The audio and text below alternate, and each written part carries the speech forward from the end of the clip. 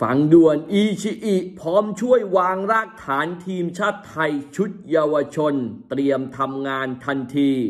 ด้านเอเชียจับตามมาดามแป้ง ยกระดับบอลไทย เกิดขึ้นได้ยังไงติดตามในคลิปนี้ครับ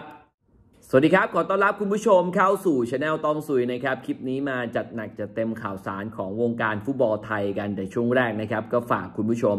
ช่วยการกดไลค์กดแชร์และกด subscribe ให้กับช anel ตองสุยกันก่อนนะครับ คลิปนี้มาพูดถึงข่าวใหญ่ของวงการฟุตบอลไทยกันหน่อย เดี๋ยวในวันที่ 8 กุมภาพันธ์นะครับ เราจะรู้กันแล้วว่านายกสมาคมกีฬาฟุตบอลไทยคนใหม่จะเป็นยังไงนะครับ ใครจะได้รับหน้าที่นี้ เพราะจะมีการเลือกตั้งบิ๊กออสหมดวาระก็จะมีการอำลา ส่วนตัวเต็งแน่นอนนะครับ ก็ต้องยกให้มาดามแป้งนวลพันธ์ล่ำซำนะครับ ก็ตอนนี้เป็นอดีตผู้จัดการทีมชาติไทยชุดใหญ่นะมาดามแป้งก็ลงสมัครรับเลือกตั้ง เป็นนายกสมาคมกีฬาฟุตบอล และในช่วงที่ผ่านมามาดามแป้งเนี่ยก็เดินสายไปรับฟังปัญหาของสโมสรในไทยลีกทั้งไทยลีก 1 2 3 แล้วก็ลีกต่างๆนะครับเรียกได้ว่ามาดามแป้งเนี่ยทุ่มสุดตัวเลย แล้วก็เดินทางโทรไปหา เกี่ยวกับของคนในวงการฟุตบอลไทยด้วยตนเองหมด ถ้าใครได้ดูไลฟ์สดของมาดามแป้งในช่วงเมื่อคืนที่ผ่านมานะครับ ก็เรียกได้ว่าเป็น ตัวเต็งแล้วกัน เป็นตัวเต็งอันดับหนึ่งเลยแหละ ซึ่งเมื่อวานนี้ถ้าใครได้ดูไลฟ์สดของมาดามแป้งนะเขาเหมือนว่าพร้อมจะสารต่อการทำงานของทีมชาติไทยและยกระดับและหากเขาได้รับเลือกเป็นนายก แต่ผมชอบอย่างหนึ่งคือในเร็วๆนี้เนี่ยใน U23 ชิงแชมป์เอเชียของเราช่วงเดือนเมษายนเนี่ยทีมชาติไทยจะเดินทางไปแข่งนะครับ ซึ่งรายการนี้มันมีโควตาไปโอลิมปิก ตอนนี้โค้ชหระก็มีการเตรียมทีมมาอย่างต่อเนื่องแล้วใช่ไหมแต่มาดามแป้งก็บอกว่าใน U23 เนี่ย เดี๋ยวจะให้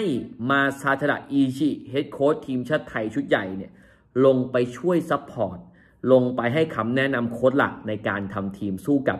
ระดับเอเชียนะครับ ซึ่งอันเนี้ยอีชิไม่ได้ลงไปเป็นโค้ชเองนะคุณผู้ชม แต่ลงไปให้คำแนะนำและทำงานร่วมกัน เพราะผมก็มองว่าเอาจริง ๆ ถ้าเกิดอีชิลงไปช่วยดูต่างๆ แต่ไม่ถึงขั้นต้องไปเป็นเฮดโค้ชนะ แบบแนะนำว่าโค้ชหลัก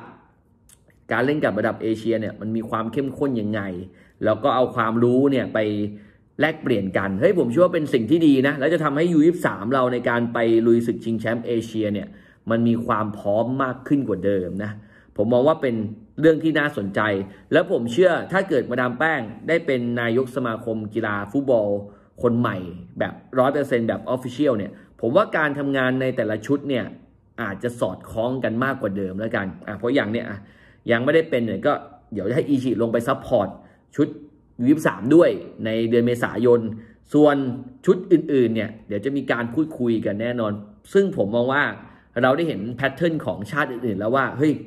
การทำงานของชุดเล็กชุดใหญ่ มันต้องสอดคล้องกันสไตล์ต้องไปในทิศทางเดียวกัน ซึ่งเป็นสิ่งที่บอลไทยมีปัญหาในช่วงที่ผ่านมา แต่ผมเชื่อว่าถ้าเกิดสมมุติว่าคนใหม่ที่เข้ามาอย่างมาดามแป้งเห็นข้อปัญหาต่างๆ ของบอลไทยแล้วผมเชื่อว่าเราจะแก้ไขปัญหาเรื่องนี้ได้ ก็รอดูนะ ซึ่งตัวอีชีผมเชื่อเลยนะ ที่เขาคุยกับมาดามแป้งไว้ที่มาดามแป้งออกมาบอกว่า พร้อมจะคุมทีมชาติไทยยาวๆและไม่ใช่แค่คุมทีมชาติไทยชุดใหญ่ ตัวอีชีก็พูดเองว่า เขาพร้อมจะช่วยวางรากฐานให้กับชุดเยาวชนทีมชาติไทยด้วย ก็พูดง่ายๆว่าการทำงานหลังจากเนี้ยจะเป็นการทำงานร่วมกัน ซึ่งซึ่งผมว่าเป็นเรื่องดีแล้วกันนะอีชีอาจจะไม่ได้ลงมาเป็นโค้ดเองอะ่ะแต่ให้แนวทางไปว่าเฮ้ยชุดใหญ่วิธีการจะเป็นแบบนี้นะ ชุดเล็กก็จะเลยลอยตามมา เพราะถ้าเกิดสมมติชุดเล็กทำได้เนี่ย เราก็จะสามารถหยิบนักเตะจากชุดยูยีสามชุดยูยี่สิบมา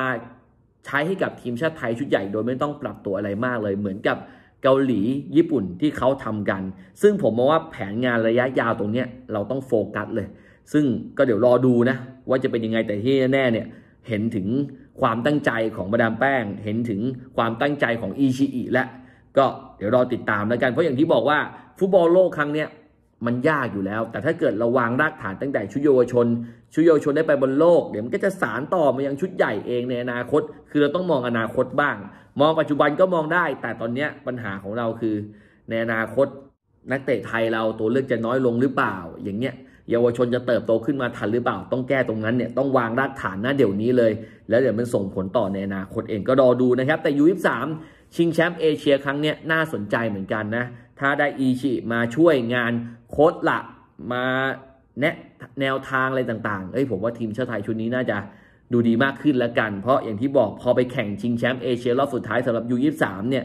มันน่าสนใจและอีกอย่างว่าชุดเนี้ยเสร็จปุ๊บเขาต้องขึ้นชุดใหญ่กันแล้วอะเพราะฉะนั้นเราดูฟอร์มตั้งแต่หลายคนเห็นเลยว่าเฮ้ยใครพร้อมจะเล่นชุดใหญ่ ก็เดี๋ยวรอติดตามนะครับ บอกเลยว่า มีหลายประเด็นนะเมื่อวานนี้ถ้าใครได้ดูอะผมรู้สึกว่าเออก็ เดี๋ยวได้เห็น ถ้าเกิดเขาได้ได้เป็นนายกจริง ๆ เนี่ย ผมเชื่อว่าจะสารต่อเลย แล้วก็แก้ไขข้อผิดพลาดที่เกิดขึ้นมาในช่วงที่ผ่านมาเดินหน้าต่อ ก็เดี๋ยวรอดูนะครับ นอกจากนี้เนี่ยมาดามแป้งนุนพันธ์ล่ำซำนะครับ ยังถูกสื่อระดับเอเชียอย่างแต่เลอร์เอเชียนะออกมาเปิดเผยว่ามาดามแป้งเนี่ยเป็นผู้ทรงอิทธิพลระดับเอเชียเลย โดย Tatler Asia เขากล่าวว่ามาดามแป้งเนี่ยเป็นนักธุรกิจหญิงที่ประสบความสำเร็จมากมาย อีกทั้งยังเป็นบุคคลสำคัญในวงการกีฬาของประเทศไทย เธอเป็นทายาทรุ่นที่5ของตระกูลล่ำซำทำหน้าที่เป็นผู้จัดการทีมฟุตบอลทั้งชายและหญิง และผลงานชิ้นสำคัญคือการพาบอลหญิงไทยไปบอลโลกรอบสุดท้าย 2 สมัยติดต่อกัน รวมถึงยังเป็นอดีตประธานสโมสรฟุตบอลการท่าเรือ พาทีมคว้าแชมป์แล้วก็รับตำแหน่ง ผู้จัดการทีมชาติไทยประสบความสำเร็จคว้าแชมป์อาเซียน 2 สมัย แล้วก็ที่สำคัญตอนนี้เขากำลังเลือกตั้งนายกสมาคมกีฬาฟุตบอล ถ้าเกิดมาดามแป้งได้เป็นนายกสมาคมกีฬาฟุตบอล ก็จะเป็นเรื่องที่น่าสนใจในวงการฟุตบอลไทยมากนี่สื่อจากเอเชียเขาพูดอย่างนี้พูดง่ายๆนะครับว่า การเลือกตั้งนายกสมาคมกีฬาฟุตบอลคนใหม่ ของประเทศไทยในครั้งนี้น่าติดตาม และยิ่งถ้าเกิดมาดามแป้งได้เนี่ย ผมเชื่อว่าสื่อจากทั่วเอเชียจะให้ความสนใจ เพราะมาดามแป้งจะเป็นนายกฟุตบอลหญิงฟุตบอลไทยที่เป็นผู้หญิงคนแรกของไทยด้วย และอย่างที่บอกว่าสื่อจากเอเชีย ตอนนี้เขาให้ความสนใจมาดามแป้งหลาย ๆ ประเด็นมากนะครับ เพราะฉะนั้นเนี่ยการเลือกตั้งนายกสมาคมกีฬาฟุตบอลคนใหม่น่าจับตามอง เดี๋ยวรอดูกัน 8 กุมภาพันธ์ก็รู้แล้วครับว่าใครคนที่เข้ามาเป็นแคนดิเดตนอกจากมาดามแป้งแล้วเนี่ยยังมีคุณพอลลีงามพิง คุณวรงทิวทัศน์นี่ที่เป็นตัวเต็งทั้ง 3 คนนะครับ เดี๋ยวก็รอติดตาม เดี๋ยวต้องซุยจะมาอัปเดตแล้วกันว่าสรุปแล้วใครได้เป็นนายก แต่ผมรู้สึกว่าคงไม่ไม่มีพลิกล็อกหรอกมาดามแป้งมีโอกาสที่จะได้เป็นนายกคนใหม่มากที่สุด เพราะเขาลงพื้นที่พูดคุยกับสโมสร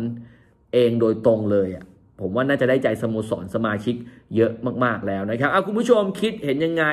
ร่วมคอมเมนต์เข้ามาพูดคุยเข้ามาแลกเปลี่ยนกันได้ในช anel ต้องสุยนะครับ ที่สำคัญก็ฝากคุณผู้ชมนะ ช่วยการกดไลค์กดแชร์และกด subscribe ให้กับช anel ต้องสุยกันด้วย เพื่อเป็นกำลังใจให้กับผมต้องพนุวัตรมุ่งสู่ 2 0 0 0 0 0ซับไปด้วยกันนะครับ อีก 10,000 กว่าซับฝากคุณผู้ชมฝากทุกคนจริง ๆ นะครับ คลิปนี้ประมาณนี้เดี๋ยวต้องซุยก็จะต่อติดความเคลื่อนไหวของทีมชาติไทย แล้วก็เดี๋ยวฟุตบอลไทยลีกกลับมารวมถึงฟุตบอลเจลีกก็จะ อัปเดตข่าวสารกันอย่างต่อเนื่องคลิปนี้ไปก่อนนะครับ เจอกันใหม่คลิปหน้า สวัสดีครับ